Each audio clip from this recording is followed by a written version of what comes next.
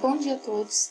Eu me chamo Karine Matos, sou aluna de doutorado da professora Simone Weber e hoje eu vou apresentar para vocês uma aula sobre o que é a pesquisa científica e como que é realizada a classificação dos periódicos científicos. É, Para a gente entender o que é uma pesquisa científica, a gente primeiro precisa entender que existem outras formas de conhecimento, além do conhecimento científico, e também precisa compreender por que, que eles se diferem. É, a principal diferença é que o conhecimento científico ele é adquirido de forma sistemática, ou seja, é, através de um método científico, que nada mais é do que um passo a passo que a gente vai seguir para adquirir o conhecimento. É, já o conhecimento popular é aquele que a gente adquire no cotidiano, no nosso dia a dia. Então ele é algo muito subjetivo, porque ele vai é, não ter um pensamento crítico, vai depender da experiência de vida que você ou a comunidade onde você está inserido teve diante de uma determinada situação. É, já o conhecimento científico, ele nasce com uma proposta diferente, porque ele vem para tentar compensar a limitação que você encontra nas outras formas de conhecimento, como por exemplo no conhecimento popular. Então, assim, o conhecimento científico ele é algo real, porque ele é adquirido de forma sistemática, de forma rigorosa e controlada. O conhecimento popular e o científico, eles muitas vezes estão interligados. Isso porque é, a primeira etapa para a criação do método científico, daquele passo a passo que eu, que eu expliquei para a gente adquirir o conhecimento científico, é a observação dos fatos que necessitam de respostas. Então, é, através da observação, vai ser criado uma hipótese que em seguida vai ser testada de uma forma sistemática, de uma forma rigorosa, criando então o conhecimento científico. É, por exemplo, a gente tem uma comunidade onde é utilizado o chá de uma determinada planta para tratamento de uma determinada doença. Porém, isso é um conhecimento popular.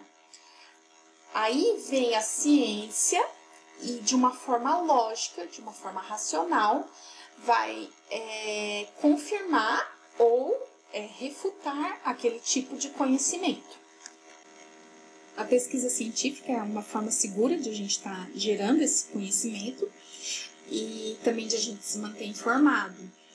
Uh, a gente utiliza várias fontes para é, fazer essa pesquisa, como, por exemplo, livros, teses, dissertações, monografias e os artigos científicos que são o foco dessa nossa aula. É, mas afinal, o que é um artigo científico? Bom, uh, segundo a ABNT, que é a Associação Brasileira de Normas Técnicas, uh, o artigo científico é uma publicação com autoria declarada que apresenta e discute ideias, métodos, técnicas, processos e resultados nas diversas áreas de conhecimento. Então, assim, com a necessidade de a gente estar tá publicando os nossos resultados, divulgando as nossas pesquisas, e também de haver comunicação entre toda a comunidade científica, foram criados os periódicos científicos. É, os periódicos científicos, eles são revistas ou jornais que são publicados de forma periódica, seguindo um intervalo que é pré-fixado. É, esse intervalo ele pode ser anual, semestral, é, trimestral, vai depender de acordo com cada revista. Essa comunicação antigamente era muito difícil, porque é, para você conseguir ter acesso a um artigo, a um periódico, você precisava fazer pedido numa biblioteca ou ao, autor daquele artigo e demorava bastante tempo até vir por carta, né? Enfim, a internet ela contribuiu muito para a melhoria dessa comunicação, porque hoje você tem um acesso muito mais fácil e rápido aos vários estudos que são publicados. É, existem diversas bases de dados onde nós encontramos esses artigos, porém uma que é bastante utilizada na área da saúde é o PubMed e por isso foi a que eu escolhi demonstrar para vocês. Quando você acessar o site pubmed.gov, é, ele vai te levar diretamente para essa página. Aqui você digita os termos da sua pesquisa. Por exemplo, eu quero encontrar artigos sobre infecção oral. É, até o momento, existem 161.182 artigos. É muita coisa. Então, você pode filtrar a sua pesquisa. Você pode escolher o período de estudo. Você pode é, escolher se esse artigo ele está completo, se ele está disponível somente o resumo, que tipo de estudo, é, a data da publicação e também tem alguns outros filtros adicionais que você pode estar tá acessando. Um outro macete é que você pode utilizar dois termos que são o OR e o END. Quando você utiliza o OR, quer dizer que a sua pesquisa pode ter tanto um quanto o outro. Por exemplo, oral infection or candida. Então, pode ter artigos contendo tanto infecção oral quanto cândida. Esses dois termos. Isso nos deu 227.250 resultados. Agora, se você me disser que você quer somente artigos que é, são de infecção oral causados por cândida, então ele tem que ter esses dois termos. Você vai utilizar END, então infecção oral e cândida.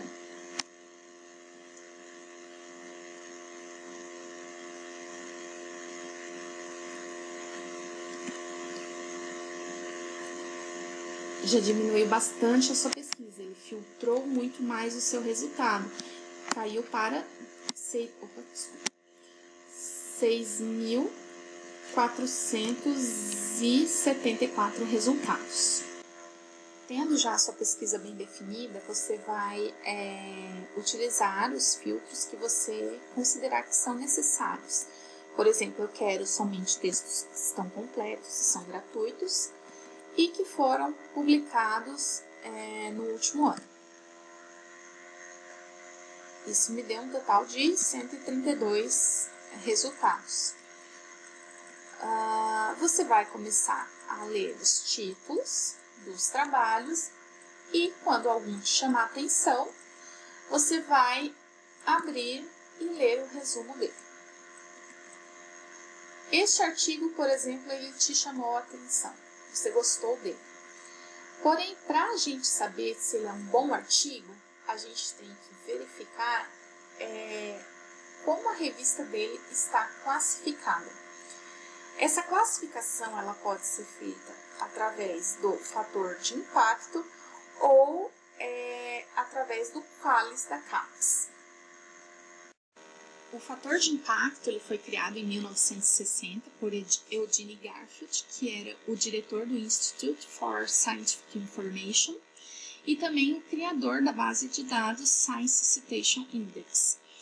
É, com a necessidade de ele estar classificando e avaliando as revistas que eram incluídas nessa base de dados, foi que ele criou o fator de impacto. É, Para fazer a, a, essa classificação, é feito um cálculo, então é uma análise quantitativa, através das referências e das citações recebidas. É, a fórmula para o cálculo do fator de impacto é feita da seguinte forma, sempre utilizando os dois últimos anos, né, os dois anos anteriores, né? Por exemplo, se você quer saber o fator de impacto de 2015, você vai utilizar os dados de 2014 e 2013. Então, são as citações daquele período dividido pelas publicações deste mesmo período. É, aqui eu trouxe um exemplo para vocês do fator de impacto da revista Nature em 1998. Você vai é, pegar é, o número de citações desses dois períodos é, e dividir pelo número de artigos que foram publicados nesse, nesse período. Então, a, o fator de impacto da revista Nature em 1998 era.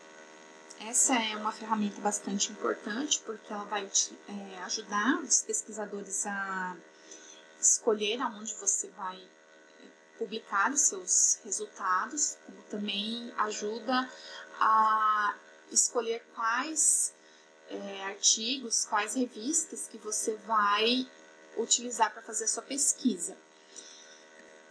Então, ela permite é, que você encontre os periódicos mais frequentemente citados, é, os que têm maior impacto em uma determinada área, e também os que são os artigos que são mais publicados em um campo, em uma área. Porém, é, o fator de impacto ele também é criticado devido a alguns fatores. Eu elenquei alguns aqui para vocês. O primeiro é que há diferenças no número de revistas de, é, dependendo da sua área de conhecimento. Por exemplo, uma área que tem é, um maior número de revistas é, tem maior chance, tem maior probabilidade de que seus artigos sejam citados do que aquelas áreas que têm é, um menor número de revistas.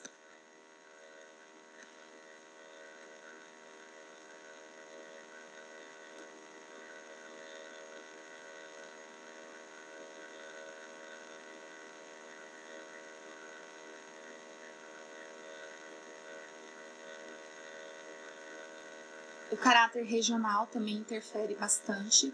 É, por exemplo, na área de saúde pública, você pode é, criar, publicar um artigo que é muito importante para aquela sociedade onde ele está inserido, é, porém ele vai ser pouco citado, porque ele é muito regional. O fato de também é, você avaliar o número de citações também é prejudicado porque você ter um artigo que tem erros conceituais ou de interpretação dos resultados, ele vai ser é, citado várias vezes, porém não por ele ser bom. Na verdade, ele vai estar sendo citado porque ele cometeu um erro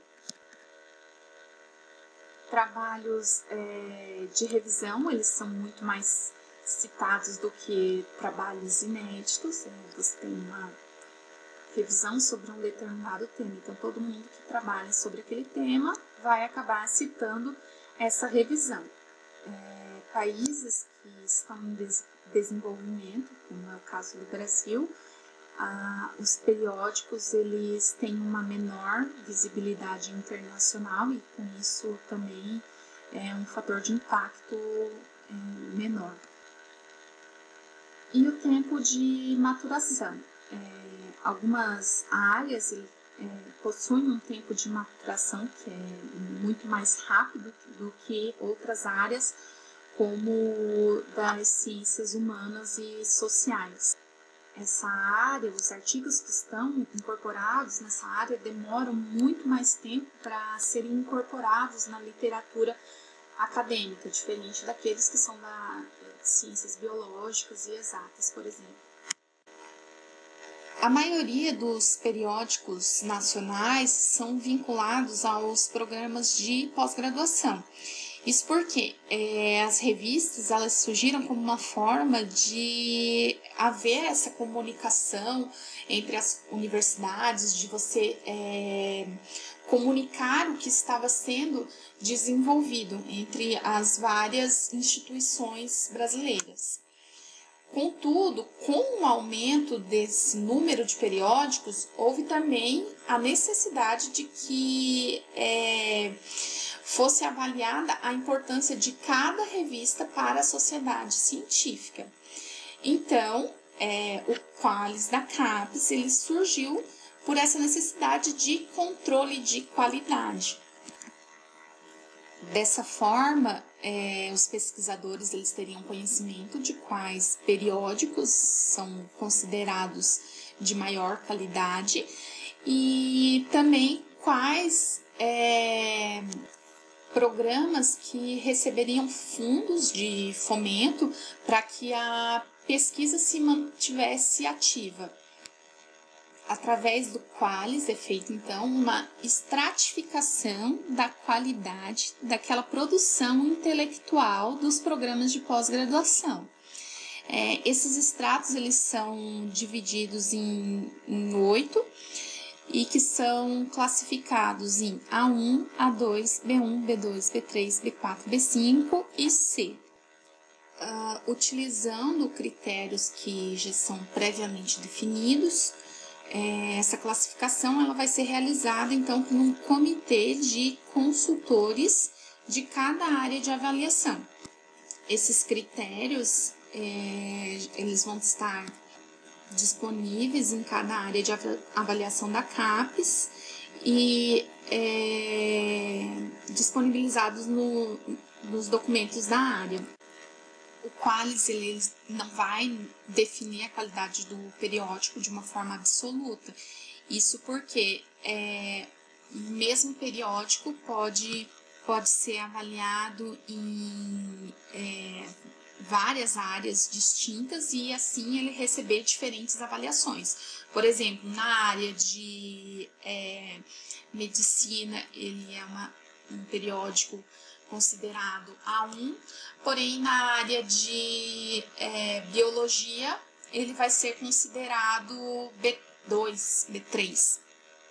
Isso acontece porque cada área de avaliação ela vai ter os seus próprios critérios para classificar esses periódicos, definindo assim qual que vai ser é, de maior ou menor re relevância naquela área.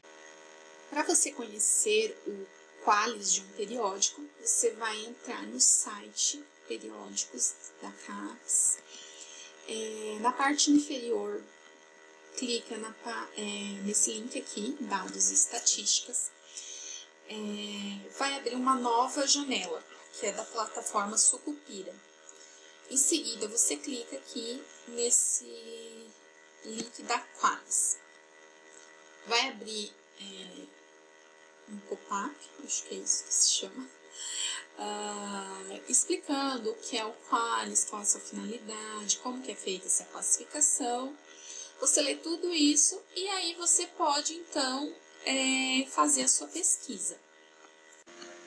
Clica aqui em buscar, vai te levar para uma outra página e aí você seleciona o evento de classificação. O último foi o do quadriênio de 2013 a 2016. É, você pode selecionar qual a área de avaliação que você quer por exemplo, eu quero na área de é, medicina 2. Medicina 2. Você coloca, pode colocar o ISSN, que seria como um RG daquela revista, cada uma vai ter um número, ou pelo título, é, Revista da Sociedade Brasileira de medicina tropical. E consulta. Na área de medicina 2, essa revista ela tem uma classificação é, B3. Se você não escolher a área de, de avaliação, escolher somente o título, ela vai te mostrar é, as diferentes classificações. Lembra que eu expliquei para vocês que cada área ela tem é, uma forma de avaliar diferente, então a gente tem é, diferentes é, níveis de classificação. Uma revista que antes era B3 na área de medicina 2, na área de ciências ambientais ela é A2. Uma outra forma que você pode fazer também é você quer publicar um artigo a sua pós-graduação é na área de farmácia. É, aí você quer saber quais, arti é, quais periódicos na área de farmácia que são considerados A1. Porque você quer, o seu artigo é muito bom e você quer publicar num periódico A1. Então, ele vem aqui com uma lista de todos esses periódicos.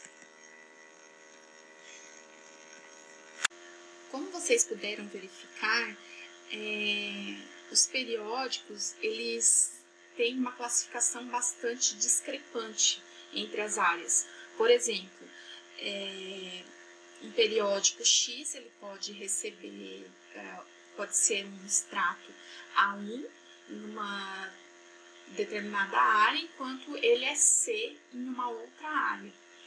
Para evitar que isso ocorra, é, foi criado então o um novo Qualis da CAPES, que busca unificar essa classificação. É, esse Qualis ele ainda não entrou em vigor, acredita-se que ele vai é, entrar no próximo quadriênio, porém ele já foi é, disponibilizado uma lista prévia e a gente pode ver mais ou menos como que vai nessa nova classificação. Então, os periódicos eles vão ser estratificados é, de A1 até A4 e de B4, desculpa, de B1 até B4, que seria é, o menor extrato. Essa lista que é, vocês encontram de forma preliminar na internet mostra todos os periódicos e está em ordem decrescente da estratificação, tá? Voltando para o site do portal de periódicos da CAPES, eu queria é, mostrar uma parte que é bem interessante, que é o meu espaço. Aqui você vai criar o seu usuário e aí você pode criar uma lista com artigos que são do seu interesse ou, ou dos periódicos do seu interesse que você gostaria de ler posteriormente. É, você pode fazer a sua busca do assunto, do periódico, livro ou base, aqui em busca. É, por exemplo, vamos fazer como a mesma pesquisa que a gente fez lá no começo. É,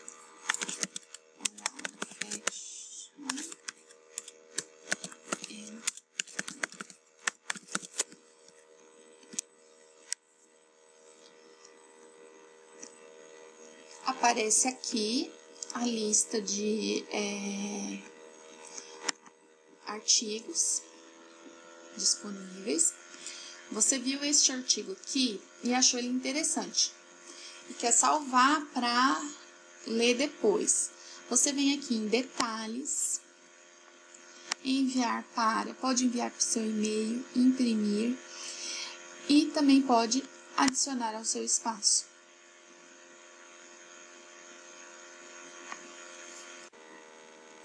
E um outro dia você pode voltar aqui no seu espaço